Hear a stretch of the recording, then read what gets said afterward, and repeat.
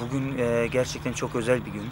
Em, çok e, anlamlı bir karar verdik. Ailece, tek ben değil ailecek.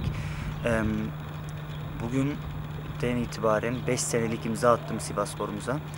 E, inşallah 5 sene boyunca istediğimiz hedeflere ulaşırız. Em, tabii ki yurt dışından ve yurt içinden gelen teklifleri vardı. Ama ben her zaman Sivas'a sıcak baktığımı herkes biliyor. Ve bunu e, tabii ki bütün röportajlarımda her zaman e, dile getiriyordum Sivasspor'un ne kadar büyük bir kulüp olduğunu.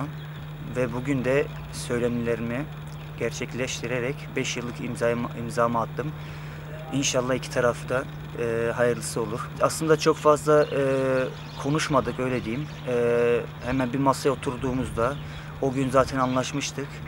E, buradan tabii ki Erdal abimize, Erdal başkanımıza ve Me- Me- Mecnun başkanına e, buradan teşekkür ediyorum. E, inşallah dediğim gibi iki taraf için de hayırlısı olur. Rıza hocama da buradan teşekkür ediyorum. Ee, inşallah hem Rıza Hoca da ve ben de uzun zaman Sivasspor'umuza hizmet eder- ederiz ve inşallah da istediğimiz hedeflerimize ulaşırız.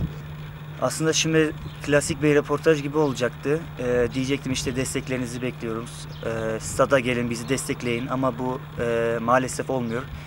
Ama e, bizi izleyin televizyondan öyle destek verin. Biz de elimizden geleni zaten yapacağız emin olun. Ee, inşallah da istediğimiz e, galibiyete ulaşırız.